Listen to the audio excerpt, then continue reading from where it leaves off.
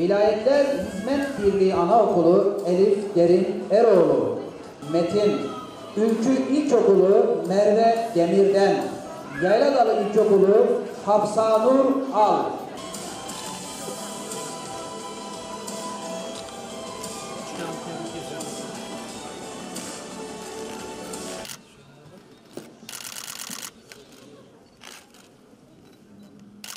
Ben bu an için bütün gün çok heyecanlıydım. Gece uyuyabildin mi?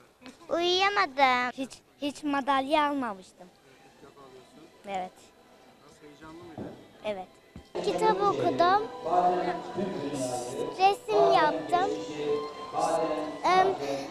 Her şey yaptığım zebra resmiyle başladı. Beyza ile beraber ödülümüzü aldık. Beyza ile ben de çok heyecanlıyız, çok mutluyuz. Beyza çalıştı, çabaladı, o kitap okudu, resmini yaptı, annesini okuttu, babasını okuttu, dinledi.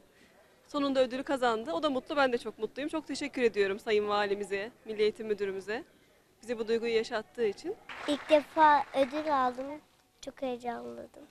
Sahnede heyecanlandım biraz. Şu 15.051 sayfa okudum. Te- teyzemler diyorum. Halamlar bana ikinci sınıftayken kitaplar almıştı. Onları okuyamadım. 300-400 sayfalık. Onları yeni okumaya başladım. Ben genellikle macera kitaplarını okumayı seviyorum. Çok kitap okuyarak, gayret ederek.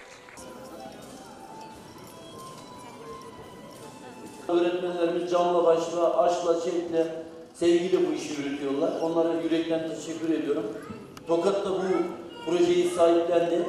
Zaten altyapısı da var. İnşallah tohum ekiyoruz biz. Niye? Çünkü bu kitap bilgiye ulaşmanın en kolay yolu. Nitelikli kültür üretmenin en güzel yolu. Bundan dolayı önemsiyorum. Önemli olacak. İnşallah belediye başkanımızla beraber konuştuk. Bir bebek kütüphanesi kuracağız. Çocuk kütüphanesi yapacağız. Bir halk kütüphanesi yapacağız. Bunun dışında sadece bu sene inşallah hazırlıklar bitmek üzere 50 tane de zenginleştirilmiş Z kütüphanesi yapacağız.